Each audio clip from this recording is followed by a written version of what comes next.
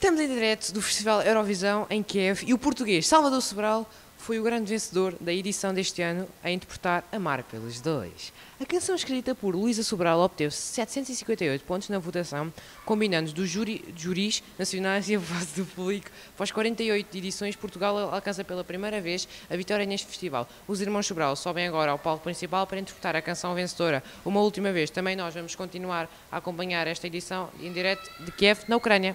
Obrigado.